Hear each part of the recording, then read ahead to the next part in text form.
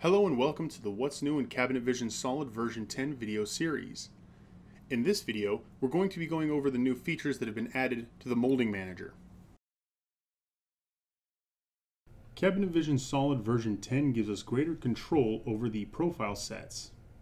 If we take a look at this sample one that I've set up, we can click the Edit button, and we can manipulate any of these profiles with greater control. Previously, if we wanted to create a opposite shaped profile, we would have to actually create a new profile in the profile catalog and add it in. Now, you can see here on the sidebar that we have two new properties, angle and mirror, that allow us to mirror the profile from one direction to another, or specify an angle as it's set in this profile set.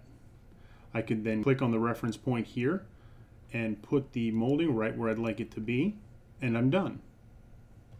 Thank you for taking the time to watch this video on the new features of Cabinet Vision Solid version 10. If you would like to learn more, please visit our website at www.cabinetvision.com.